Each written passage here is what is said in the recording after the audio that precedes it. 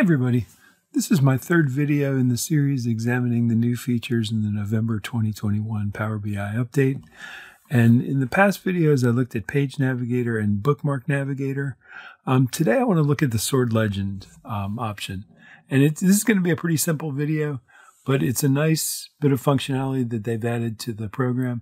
So I wanted to show you where that resides and talk a little bit about some of the nuances of how it works. So here I've just got a very simple um, column chart and I've got total sales by channel and year, um, sorted ascending 2019 to 21.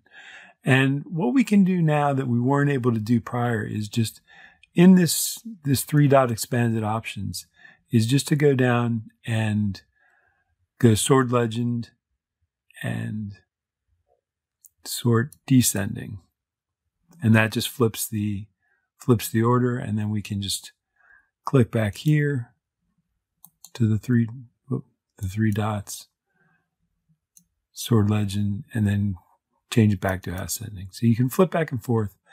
So what I've got here is is a little bit different orientation of the same data where instead of um, having the legend by year I've now got the legend by channel and I've got the year the quarter and year on the x-axis. And the same thing works here, obviously, that we can flip the um, flip the sort legend around from descending to ascending. But now the question is, what do we do? We, so we can we can make wholesale first, then export, then distributor, or we can make distributor, export, wholesale. But what if we want to make export the first one? So there's no there's no custom order in the the legend sort um, functionality. So what we'd have to do in that is just go transform data,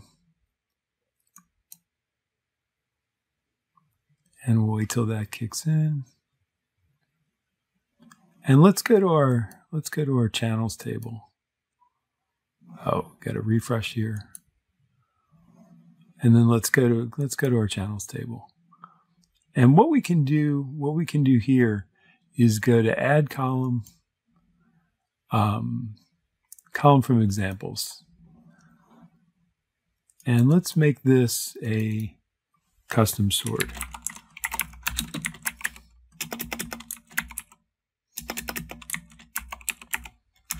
And now we can just kind of kick the, the columns by examples in. So we want to make export, in this case, our number one.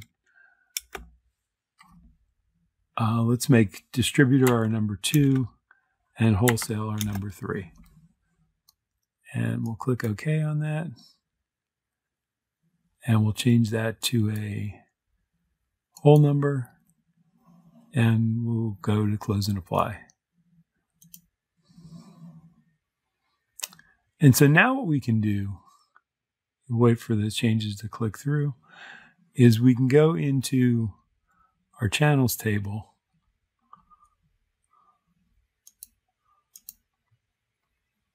And we'll see that that custom sort field. And so now if we just click on channel name, sort by column, and then custom sort,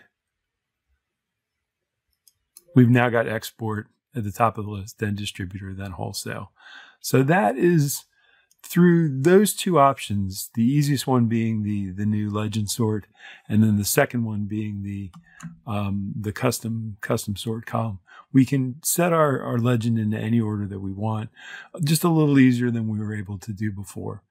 Um, so if I go back into legend here, just one thing I want to show you that's not directly related to the legend, but I think is a really nice feature, is if we go here into the into the visual and we go to x-axis, what we've now got is we've got the full rich text formatting available. So we can we can make whatever sorts of changes to that x-axis. So if we want to make that um, bold and change the change the color on that,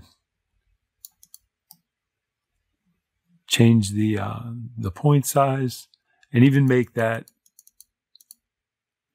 that that x-axis conditional formatted, we can do that.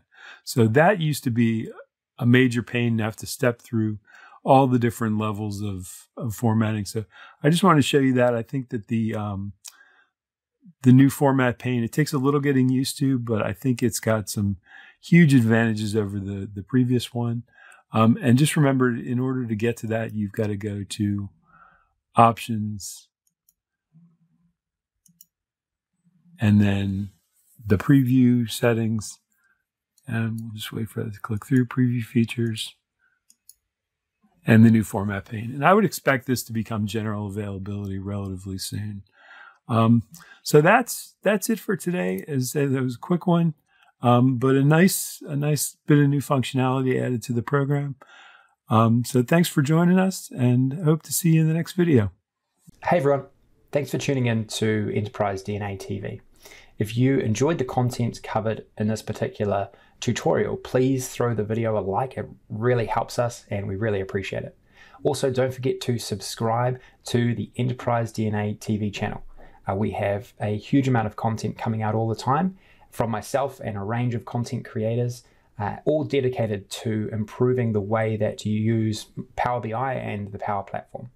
Lastly, check out Enterprise DNA's website, plenty of resources and further learning that you can access very easily. All the best. Take care.